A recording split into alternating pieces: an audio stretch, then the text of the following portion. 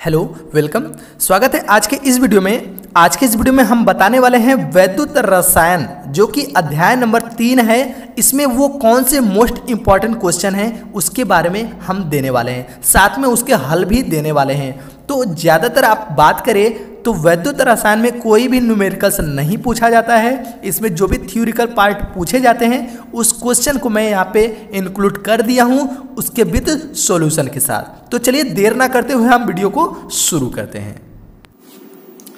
Hello welcome स्वागत है आपका यहाँ पे हम बताएँगे केमिस्ट्री क्लास ट्वेल्व वैद्युत रसायन, जो कि चैप्टर नंबर तीन से लिया जा रहा है, और ये लाइव स्टडी में अभी करा रहा था बट लाइव स्टडी से मैं रोक दिया हूँ, क्योंकि बहुत ज़्यादा नेटवर्क प्रॉब्लम हो रही थी, इसकी वजह से मैं लाइव सेशन को रोक दिया हूँ, और इसका मैं वीडियो आपको बना के दे देता हूँ। ठीक है जी?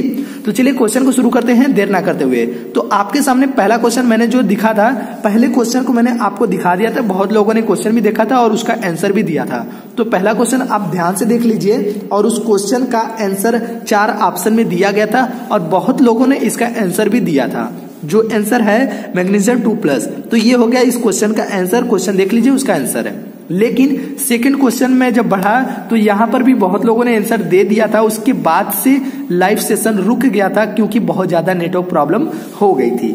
ये क्वेश्चन है, विशिष्ट चालकता की इकाई है। इसमें भी चार ऑप्शन आपको दिया गया तो इसका आंसर है नंबर तीन सेमी इनवर्स ओम इनवर्स ये हो गया तो बहुविकल्पी मोस्ट इंपॉर्टेंट क्वेश्चन जो वैद्युत रसायन अध्याय तीन से लिया गया है। चलिए आगे के क्वेश्चन हम बता देते हैं। अगला क्वेश्चन है क्वेश्चन नंबर तीन।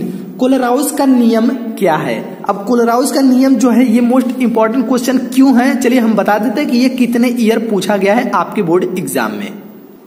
तो ये जो क्वेश्चन पूछा गया है ये है 2014 में 15, 16, 17, 18 एक, दो, तीन, चार, पाँच। ये पाँच साल वो भी लगातार, पूछा गया, कहीं गैप नहीं है। इसकी वजह से ये मोस्ट इंपॉर्टेंट क्वेश्चन है। आपको कितना लिखना चाहिए बोर्ड एग्ज़ाम में? इसके लिए मैं यहाँ पे लिख दिया हूँ। आप देख लीजिए क्या लिखना है आपको। लिखना है, इस नियम के अनुसार, किसी विद्युत अवघट की अनंत तनुता पर चालकता इसके धनायनों तथा ऋणानों पर मोलर चालकताओं के योग के बराबर होती है।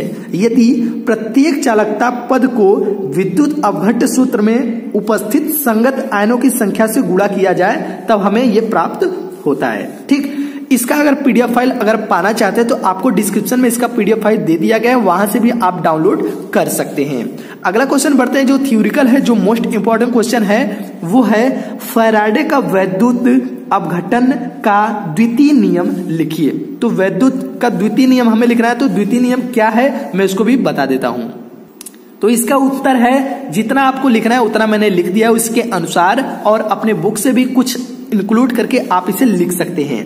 इस नियम के अनुसार, जब श्रेणी क्रम में जुड़े विभिन्न विद्युत अपघट्यों को बिलियन में समान मात्रा में विद्युत प्रवाहित की जाती है तो मुक्त इलेक्ट्रोडों पर मुक्त या एकत्रित पदार्थों के द्रव्यमान, उनके तुल्यांकी भारों के समानुपाती होते हैं। देखिए, ये सारे के सारे थ्योरिकल पार्ट है, इसलिए इसमें हमें लिखना पड़ा कि आपको कितना लिखा जाता है।